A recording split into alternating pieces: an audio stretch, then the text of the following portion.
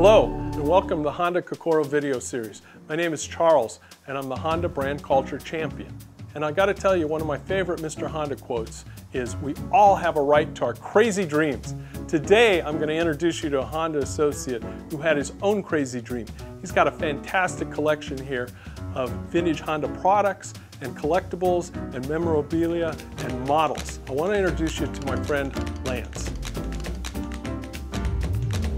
Well, I've always been involved in Hondas. I always love Hondas, but first time I saw the very first NSX, that's when I fell in love and I said, wow, Honda makes very cool products.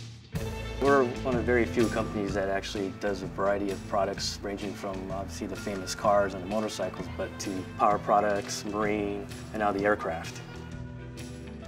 What would you say is the most unusual or weird Honda type or Honda logoed item that you have? I think it would be this my my Honda sucks. well, my wife is not very enthusiastic as I am. Uh, she always asks, well, why do you need all this, so much stuff? Friends that I bring in here say, wow, or I occasionally get a why, or what's wrong with you? I also noticed that you've got some great examples of uh, the Honda general purpose engines here. And in particular is this little cubby. Tell us why this is so unique. The Cubby came out in 1962 and the main purpose was to teach young kids how four-stroke engines work and how to assemble them. And when it came out, it was considered the smallest four-stroke engine in the world. Wow.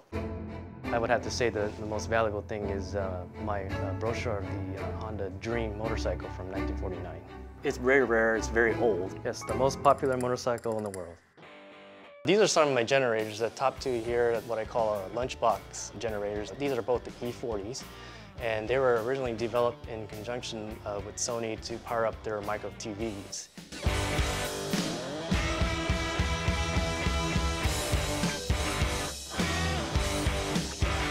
Lance, I want to thank you for your fantastic hospitality today. You opened up your secure secret location for us. You showed us around, you invested some time, and I brought you a small gift as a token of our appreciation for that. I've been hanging on to this thing for over 15 years. Super, super rare. I know you don't have one of these things. It's an S2000 beach towel. What do you think? Sorry, I already have one.